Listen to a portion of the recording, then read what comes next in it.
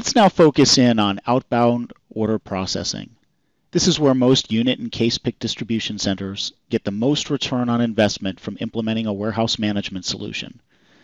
Let's also talk about the annual labor investment in the picking process.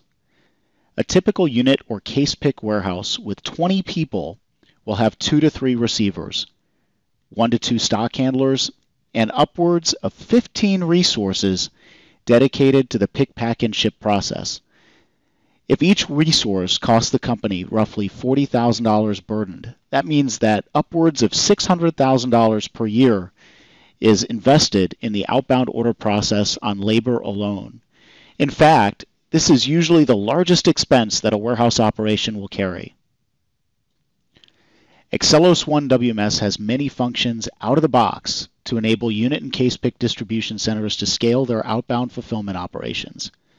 This means that larger distribution centers can take a look at existing resources to see if there is any way to get more productivity or growing operations can look into adding more capacity and throughput to minimize the stress that increased volume of new incoming business will place. You're looking at the Order Work Center here. Essentially, the dashboard that allows the warehouse manager to orchestrate the outbound processes in the distribution center. Each line in the grid represents a single outbound order. The pop-outs to the right of the grid hide specific detailed information about each order that the warehouse manager can access at any time. As we talked about before, any of these grids can be rearranged into sections or tabs to suit the individual style of the employee by arranging a personalized desktop. Along the top of the screen, you'll find familiar buttons like Video Help, but you'll also find context-sensitive buttons that are specific to the screen you're looking at. Clicking the Jobs button opens up a selection of actions that the warehouse manager can use to operate on one or multiple orders at a time to get them moving from plan to execution. We'll talk about a few of these in a bit. The Reports button provides a list of order-specific reports for printing, although many of them will automatically be inserted into workflows, like pack slip reports or bills of lading that are printed at different steps in the process unattended.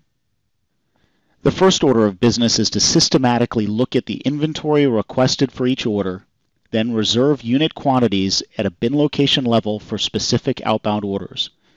We call this process allocation.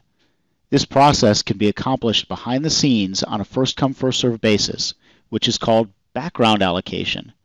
However, many decisions need to be made on the fly, especially when operations receive orders throughout the day and need to fulfill same day.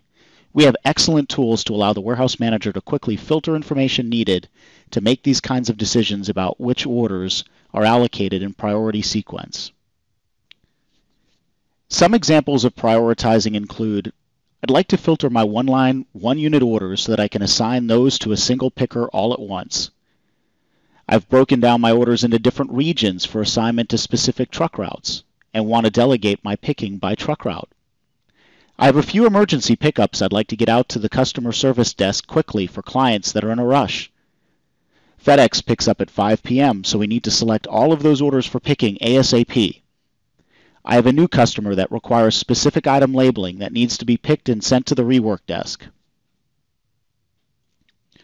The user can then select one or multiple orders simultaneously and click on the Allocate job to perform the process.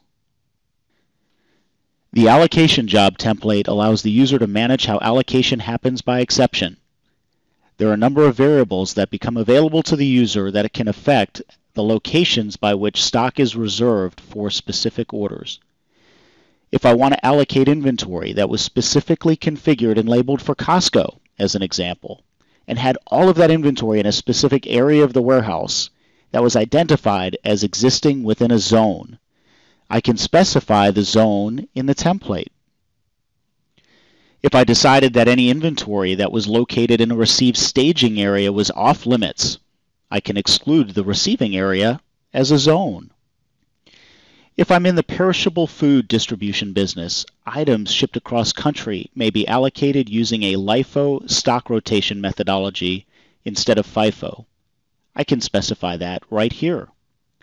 I can also specify that any items greater than 20 days to expiry be excluded from allocation. I may decide that I'd like to set up a forward picking area. I'd move any of my C or D items for required orders for my overstock locations to that forward pick area. In this case, I can designate my zone for replenishment as the forward pick area and consolidate the picking of my slower moving items for the day. This is a very powerful feature for those of you that are walking long distances on every order to get the slower moving items. Another great feature that many of our customers enjoy is the ability to split orders based on pack size. By leaving deplete smaller pack size unchecked, the WMS will automatically allocate by pack size. In other words, if an order requires 10 cases and 5 units, a picker can be sent to two different locations to gather the two appropriate pack sizes, then consolidate the two picks downstream. Putting a check mark in carton split will leverage the WMS cartonization function. This function pre-splits orders into multiple shipping cartons based on inventory dimensions and carton sizes. The result is that a picker can pick to unique carton rather than to order. This is especially useful when many multi-carton orders can be split by zone, thus consolidating picking into a very small walking distance. When the boxes are fully picked, they're ready to be shipped as GS1 labels or carrier compliant labels can be pre-applied to those cartons in advance of the picking process. I can even save the settings on this form as a plan and recall the plan at a later date.